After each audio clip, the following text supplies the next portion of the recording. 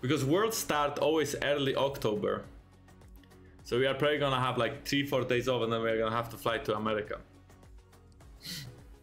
For Worlds, of course. You want me to say it? If you play Nunu, I swear on, I will have, I will have buy the new G2 friend jersey right now.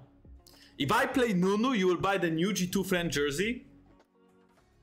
Well, maybe, maybe, if you would say you would gift subs, I would be like, okay. Or if you would say, I, I will do something for you, I would be like, okay, I could consider it.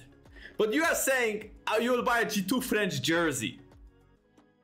Well, good. If you are watching Carlos's stream and you say that, high chance he will play Nunu jungle.